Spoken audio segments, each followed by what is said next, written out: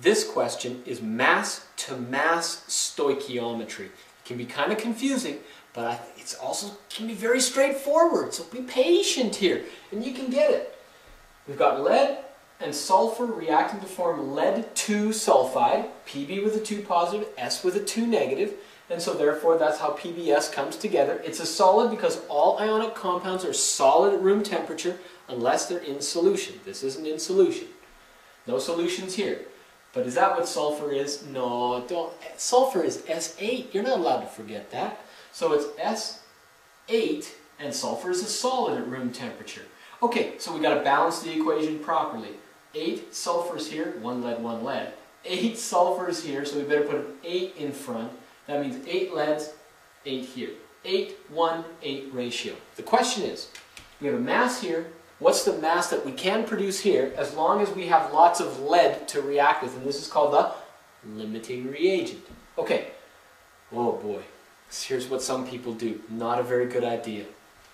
They say, well, look, it's 1 to 8. So take this, multiply it by 8, and you get this. It's real simple. 1 to 8, so take that, multiply by 8. Mm, no. Can't do it for this very, very important reason. What's this ratio again? It's a mole ratio. What's this? That's grams, and you want grams here. Listen, this is what you have to do. You have to take this grams and turn it into moles of sulfur, and then use the 1 to 8 ratio to find the moles of this compound. But that's not good enough because you want the grams. So you have to do another molar mass step to be able to find that mass. This is a kind of a multi-step thing, but watch how it's done. It's very straightforward. You got 6.43 grams of S8. Well, we don't want grams of S8, we want moles of S8. So we want to keep moles of S8 and get rid of grams of S8. And the molar mass of 8 S's, that's 32.06 times 8, is going to be 256.48. So 256.48 that's how many grams there are in one mole of S8. So far, right now, the grams cancel, we've got moles of S8. That's good. We want moles of S8. Oh, no, we don't want moles of S8. We want moles of this. But what's the ratio? 1 to 8. So now we do the ratio step. That's like the hub of, around which everything revolves. It's that ratio step. So we need to cancel out moles of S8. Notice we're always just canceling something and leaving something else, right? So for every, how many moles of S8? Well, there's one mole of S8. We have how many moles of PbS in our balanced equation? Well, 8. So we'll end up multiplying this by 8 and then dividing by this, but we're not done. Look, we've got to get rid of the moles of PbS. We don't want that. We want grams of PbS. That's the question. All of these ratios here get us to this point to be able to say, oh, all we need is the molar mass of PbS.